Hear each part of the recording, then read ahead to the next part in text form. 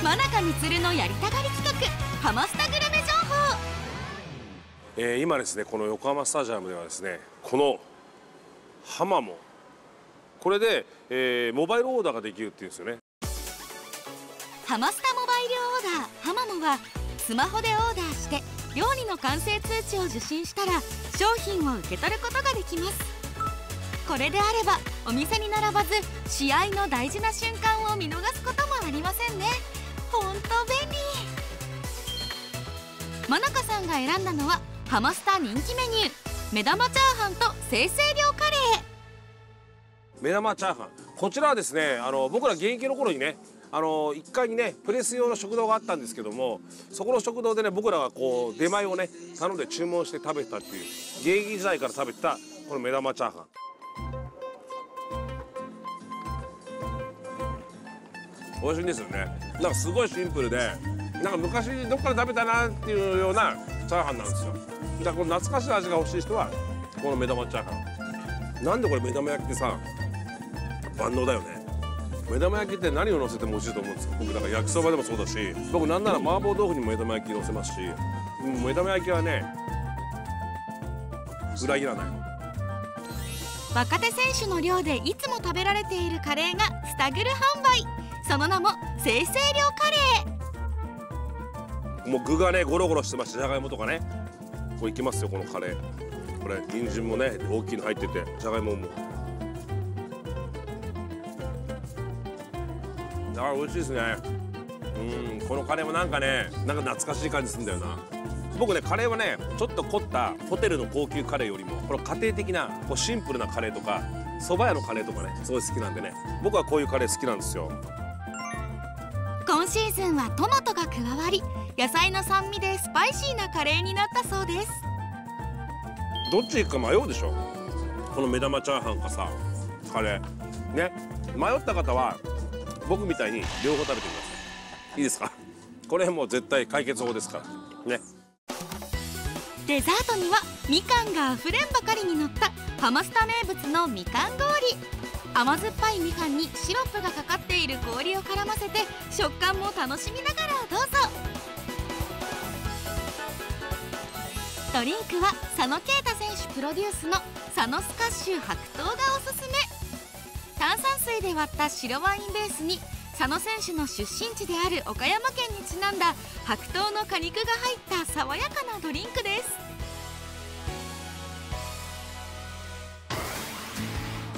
試合前のチーム練習が始まりました。早速野中さんも見学することに。来ましたよ渡来選手。まあでも本当にバットコントロールはねあのいい選手ですから。シーズン長いですからねいろいろ波はあると思いますけどねあのやってくれそうですね。雰囲気よりね。1年目の選手じゃないですからね。バチッとね溶け込んでそうですね。渡来選手と真中さんには実は意外な関係性がそれは後ほど。そしてこちらでは佐野選手と牧選手がね T ありますけど今佐野選手がねまあね看板選手ですよね。佐野選手はね、まあ、毎年ねコンサートに3割打つね選手ですからもう横浜の顔ですもんね佐野選手。そして牧選手とねまだちょっとねなかなかこうぐっと乗り切れてないですけどもね必ず最終的にはしっかりやる選手ですからここから徐々にね調子を上げてってところですかね。宮崎選手も来ましたよ。宮崎選手も。もうこの3人が今ね主軸ですからね。主砲です。この、まあ、3人を中心にね非常にこう点数が取れる。そしてルーキーのねあの渡辺選手も入って得点力はものすごいあるなっていうのは印象ですよね。今シーズン初のキャプテンに任命された牧選手が来てくれました。こんにちは。お忙しいところ。でキャプテンということであのまあいろいろねあの選手にこう気を使ったり大変な部分もあると思うんですけども牧選手としてのキャプテン像って何かあるんですか？えーまあこうなかなか言葉で言うテープではないのでああはいはいはい。まああの本当に引っ張っていくっていうか、はチームがダメというか、うん。えー重い時にこう前出て引っ張っていけるような、はいキャプテンでやりたいなと思ってます。ルーキーの渡辺選手は牧選手から見てどんな選手ですか？いやもうあのポジティブっていうかこうずっと前向きですしああの打っても打たなくても打てる打てるってずっと言ってますし。牧選手に対しても言ってるのね、はい。なのでそういうところではあのまあすごくいいメンタルというか、はい、そういうのあると思います。結構コミュニケーションなんかもまあまあ取るんですか？そうです。あの勝手に喋ってくるんで あのコミュニケーション取らざるを得ないみたいすごいねルーキーで、なかなかさ俺自分もそうじゃない？そうですね。例えば牧選手が入ってきた頃は、まあ、佐野選手とか、はい。宮崎選手とかがレギュラーでバリバリ出てて、はい。でその牧選手が1年目の入っていった時と渡辺選手は全くじゃあ違うって感じだ。な そうですまあさすがに自分も1年目はこうちょっと様子見てた。様子見ながら隅っこの方ででいたいたんですけど、はいはいはい。まあ、すごいですね。こうガツガツ。ああじゃあそまあいい意ういうタイプですね。味でまあ喋りやすいですし。ああじゃあもう完全に溶け込んでる感じですか、はい。あ。牧選手を前に微動だにしないドラ1ルーキー。渡来隆輝選手が登場。真中さんとの秘話も大公開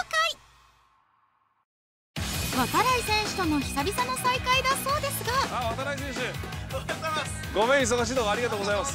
元気？元気っす。DNA ベスターズね。よろしくお願いします。隊長の渡来隆輝選手ですけど。よろしくお願いします。元気ですか？元気です。ドラ1ルーキー渡来隆輝選手。実は渡来選手のお父さん博文さんは真中さんとスワローズ時代のチームメイト。お父さんの引退試合のエピソードがあるそうです。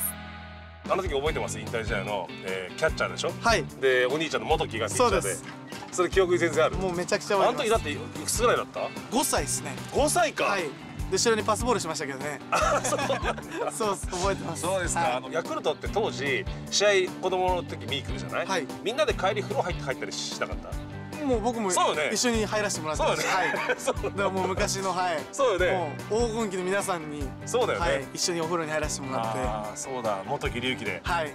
プロ入って、はい。えー開幕迎えて、はい。これだけのさファンがいて、はい。でバッターボックス立つ瞬間とか、はい。どうこの緊張感とかいうの？いやもう緊張感というよりはも超えるう楽しさっすねもう。すごいね。もはや。やっぱりそうなんだね、はい。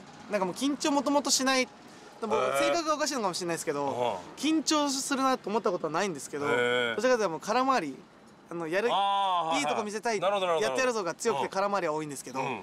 まあ本当にその気持ちは本当に楽しいなっていう打席に入ると、ここまでいろんな方が、あはい、注目してくれてね。こんな一流の選手たちと戦えるっていうのは、はい、本当に楽しいですね。ここまであのテレビとかで見てると、まあ本当に隆起隆起って怒られちゃうけどね渡辺選手っぽいね。なんかこう自分のペースというか、えーやってる感じがするんだけど、はい。そこは意外とすんなりできてますか？野球自体は。そうですね、うん。やっぱこう変わった環境ではありますけど、えー本当に自分のらしさは、うん。えーしっかりこれからももっと出したいなと思ってますし、楽しんでる時が、うん。真中さんもちろん一番分かってると思いますけど、はい。やっぱ楽しんでる時が一番結果出ると思うんで、ふざけると楽しむってやっぱ違うと思いますけどそうだよな紙一重ですけど。だけどまあ難しいんだよね、はい。楽しむのなそうですね。楽しむのはめちゃくちゃ難しいですけど、まあ、やっぱ楽しんで野球を本当に心の底から楽しんだ時って自分もそうなんですけど、やっぱこう結果が出てると思うんであそこは大事にしていきたいところです。頼もしいですね。ちなみにこの番組「はい。真中光は行く」って番組は見たことあります、もちろんです。ある？真中満は行くですよね。えっ、と真中光が。まあもうどっちでもいいんだ。あまあもちろんう。見てます。ああるんだ、はい。ありがとう、はいありがとうございます。ちょっとこれちゃんとオンエアね。しっかり見ます。あありがとうござはいいます。ありがとうございます。よろしくお願いします。あありがとうございます真中光が行く。もう渡来選手忙しいですよ。引っ張りだこでね。本当に大変なんですけども、えー、真中光が行く見てるみたいです。